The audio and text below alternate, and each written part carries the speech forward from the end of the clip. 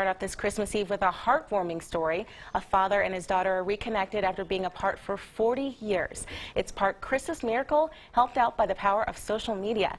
KRDO News Channel 13's Colleen Sikora has this story that you'll only see here.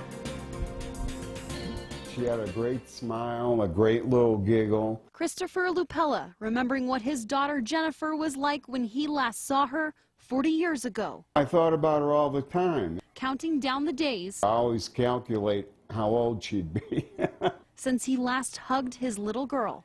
I never, never expected to ever hear from that girl. Jennifer was taken away by her mother. My mom didn't really want me looking for him. She just kind of wanted me to leave it alone. This is her when, about when she was taken away from me. Christopher fought to have Jennifer with him, but she ended up in foster care. A young man in Illinois at the time, not married, not no family, they put her in a foster home. Until a message popped up on his Facebook. At first, I was looking for his full name, and then something told me to check just like the short hyphenated version of his name, and then that's how I found him. This was her. Can I ask how old you are? And are you from Chicago? That's when he replied back. I'm your father.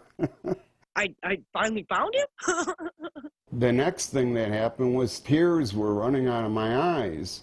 It was a reconnection Jennifer had been searching for since she was 10. Points I wanted to give up hope. I really did. It's a very, very huge relief on, on my end. I missed her. I missed her all those years. And since the first message, communication has been nonstop. We're texting each other, talking to one another, and trying to make up for those 40 years.